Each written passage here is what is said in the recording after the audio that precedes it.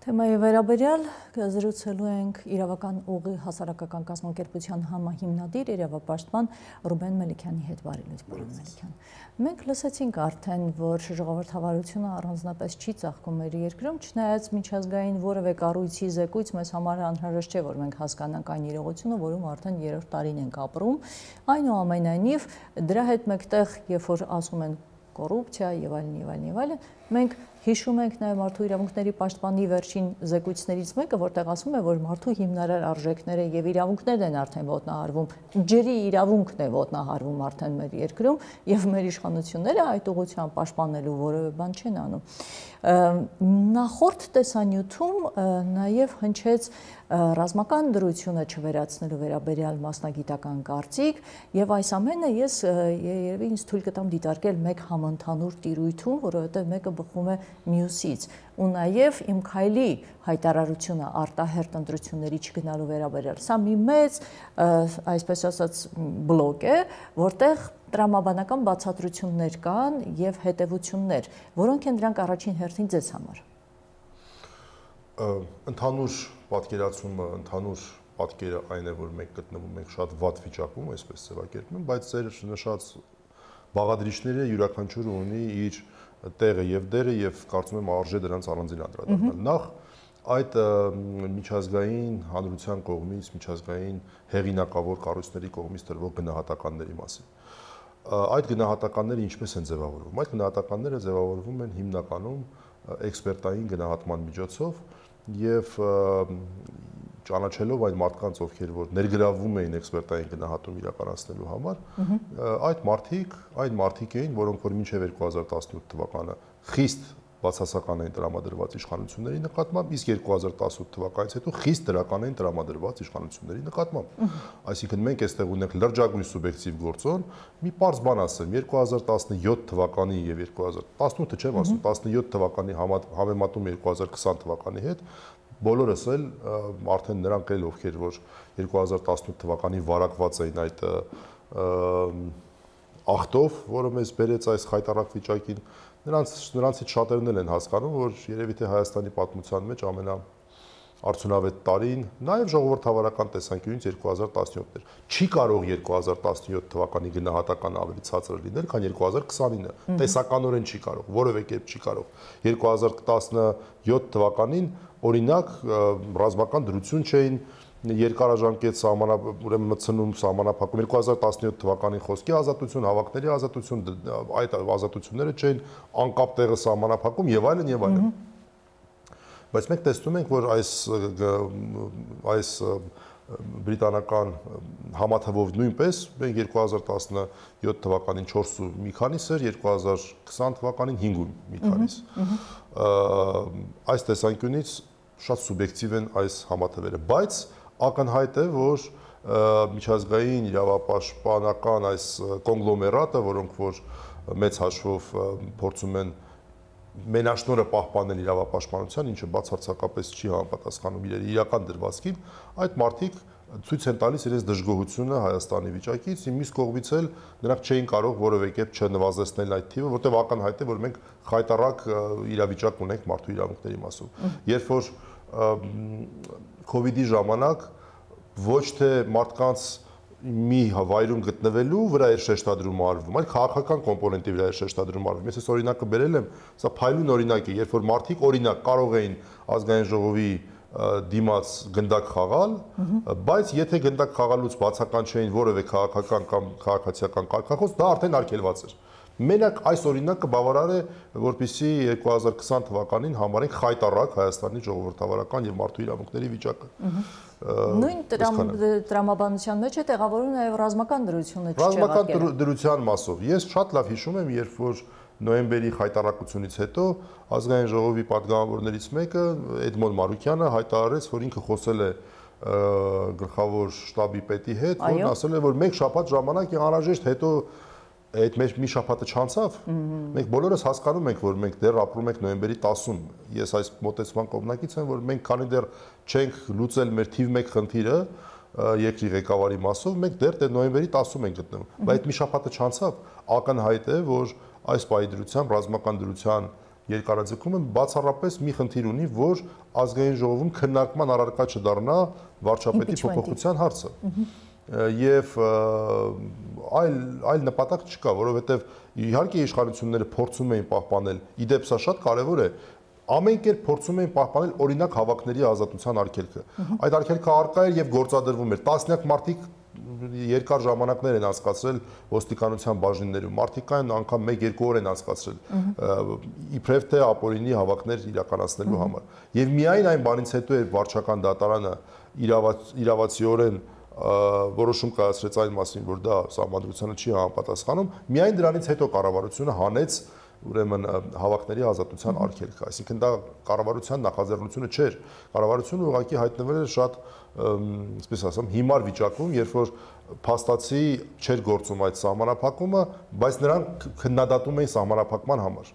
Այսինքն մի կողմից նա չէին նա չէր կարողանում գործադրել, մյուս կողմից լուրջ քննադատության էր արժանանում, որովհետև այնուհանդերձ կառավարության որոշումը ուժի մեջ էր մնացել եւ վերացրեցին։ Այսինքն դա էլ կառավարության կամքով չէր, Հետևաբար ռազմական դրությունը դա այն գործիքակազմն է, որից որ առավելագույնս փորձ է կատարում օգտվել այս ներկայիս իշխանական Նաև կարծիք է հնչում, որ այդ ընթացքում փորձեցին գտնել մի ձևաչափ, որը թույլ կտար Նիկոլ Փաշինյանին առանց հրաժարական տալու մասնակցել արտահերտ ընտրությունների։ Ըստ երևույթին չգտան այդ ձևը եւ դրա պատճառով է իմ քայլը այդ հայտարարությունը տարածել, որ դե չգտանք այդ ձևը չի լինելու արտահերտ ընտրություն, մենք որոշել ենք, որ լայն հանրությունը չունի պահանջարկ, հա, իրենք իրենցով որոշել են, իրենք իրենցով այնց չեղարկել են արտահերտ ընտրությունները մի էլի մի քանի դիտանկյունից կարող ենք այս հարցին նայել։ Ես ավելի հակված եմ ոչ թե այն տարբերակին, որ մանեկան չգտան, այլ ընդհանրապես մանել չեն եկել եւ դա ընդհանրապես իմիտացիա էր եւ ֆիկցիա էր եւ շատերը ովքեր որ շատ ավելի լավ են ճանաչում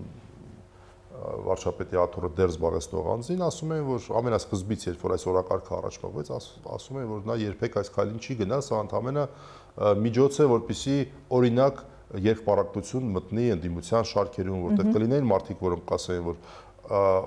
հայրենիքի դավաճանների հետ դրության գնալը անընդունելի է, կլինեն մարդիկ, որոնք կասեն, որ այնուհանդերձ մենք չենք կարող դուրս մնալ քաղաքական process-ներից, որովհետև այստեղ մեկը չմասնակցի, երկուսը չմասնակցի, 10-ը չմասնակցի, ինչ որ մի լուսավորյալներ կմասնակցեն կամ չգիտեմ ովքեր կմասնակցեն, պես լուսավորյալ նկատի ունեմ լուսավոր մարդիկ։ Եվ արդյունքում կլեգիտիմացվի ամբողջ գործընթացը։ Այսինքն կունենանք խնդիմություն, կունենանք իշխանություն եւ այլն ամեն դեպքում մենք ի սկզբանե շատերի համար པարզ էր, որ սա ընդամենը խայծ է եւ ոչ թե իրական օրակարգ ձևավորելու միջոց բայց թե ինչի հիմա սա հանվեց սա իմ համար մի փոքր զարմանալի է որովհետեւ կարծեք թե իշխանությունները իրենց գցած այսպես ինչպես այդ այդ ռուսերեն արտահայտությունը օգտագործեմ явլակը ռազդորը եւ պարակցության կրվախնձոր կրվախնձորից լավ էլ օգտվում էին որովհետեւ իրոք կար որոշակի հակասություններ կամ տարբեր կարծիքներ տարբեր ընդդիմադիրների շրջանում հիմա նրանք փակում են եւ ընդդիմության օրակարգը դարձնում են մեկ միասնական այն է ձերբազատվել արդեն հասկանալի է եւ այստեղ մենք գալիս ենք արդեն իրավական երբ նու կարծես ջրբաժան է որովհետեւ նման որոշումով փաստացի Նիկոլ Փաշինյանը որևէ ժողովրդական ժողովրդավարական լեգիտիմ լծակ այլևս չի թողում ընդդիմությանը, եթե արտահերթ չի լինելու, ուրեմն մնում են այլ միջոցներ, որոնցով որ հետագայում գուցե Նիկոլ Փաշինյանը հաշվարկում է մեղադրել ընդդիմությանը ցանկացած գործողություն կոչելով ոչ լեգիտիմ։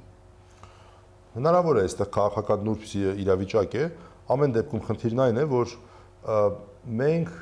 այս պահին չունենք հանրության իրական վիճակը արտացոլող ազգային ժողով։ Ով ինչ ուզում է ասել, անգամ այն մարդիկ, ովքեր որ գտնում են, որ այսպես շատ մեծ աջակցություն ունի իշխող քաղաքական ուժը, միևնույնն է, անգամ նրանք, անգամ այս այս այս մոտեցման կողմնակիցները երբեք ու երբեք չեն պնդում, որ այդ աջակցությունը համարժեք է ազգային ժողովում ներկայացվածությանը։ Այդ շատ ավելի ցածր է հիմա բնականաբար։ Հետևաբար մենք ունենք ոչ լեգիտիմ ազգային ժողով։ Իսկ քանի որ ազգային ժողովն է մեր իշխանության ձևավորման աղբյուրը, իրականում վարչապետը երրորդական պաշտոնյա է մեծ հաշվով խորհրդարանական պետությունում։ Այսօր մեկը կարող է լինել, հետո վաղը կարող է նույն մեծամասնությունը որոշել, որ մեկ ուրիշը պետք է լինի։ Խնդիրը ազգային ժողովն է։ արդյոք ազգային ժողովում ներկայացված երեք ուժերն են, որ հանրության շրջանում ունեն ամենաբարձր այսպես տեղինակությունը, պահանջարկը եւ արդյոք նրանց հարաբերակցությունը համապատասխանում է իրականությանը։ Խնդրում եմ հուշեք խորհրդարանական կառավարման համակարգում ազգային ժողովի փոփոխման լեգիտիմ ճանապարհները լայն հանրության համար որոնք են։ Այսինքն արտահերտ ընտրությունների մասին է։ Բացի արտահերտ ընտրություններից մեծ հաշվով մենք այլ տարբերակ չունենք, քան արտահերտ ընտրությունները, երբ եթե ազգային ժողովը ազգային ժողովը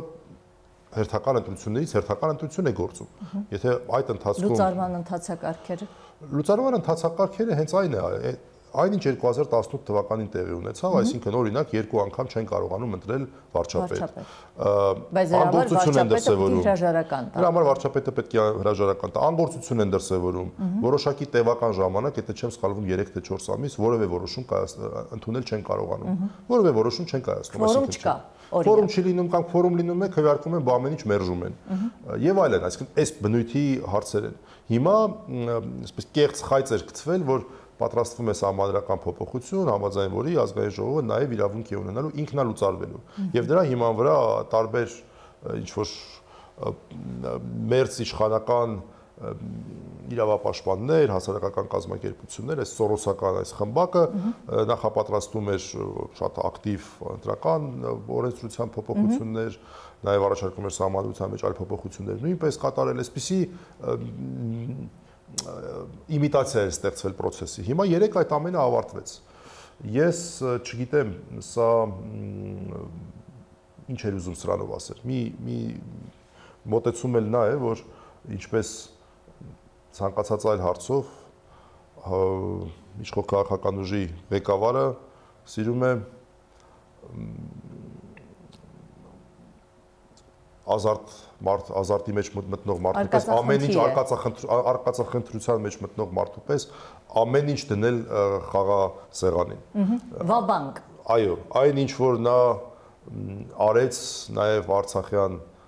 իր Արցախյան պատերազմի ժամանակ, բայց ոչ թե իր մեր բոլորի հաշվին այդ ամենը արեց եւ մենք ամեն ինչ կորցրեցինք։ Կարճ ասած, ես կարծում եմ, որ սա մեծագույն սխալ էր, որ թույլ տվեց իշխող քաղաքական ուժը նրա նկատմամբ ատելությունը, որը որ մեր հասարակությունում օբյեկտիվ երևույթ է, գնալով կմեծանա այս հարցին շատ արագ տեմպերով կմեծանա այդ մարդիկ են ապրելու, եթե իրանք կան ընտրությունը, այդ ընտրությունը կատարել են, իրենք էլ պատասխանատու են լինելու իրենց ընտրության համար։ Շնորհակալ եմ մեկնաբանությունների համար, շարունակենք հետևել իրավիճակին եւ հասկանանք թե դեպի ուր են տանում իշխանությունները իրավական process-ները եւ ընտրական process-ները արդյոք կունենանք նոր ընտրական օրենսգիրք օրինակ նվազեցված կուսակցական շեմով թե չէ կունենանք սահմանադրական նոր փոփոխություններ թե չէ թե դա նույնպես ֆիկցիա էր ցույց կտա ժամանակը ինչպես ասում են Հարգելի հերոստատիտողներ, մենք զրուցում ենք իրավական ուղի հասարակական կազմակերպության համահիմնադիր իրավապաշտպան Ռուբեն Մելիքյանի հետ։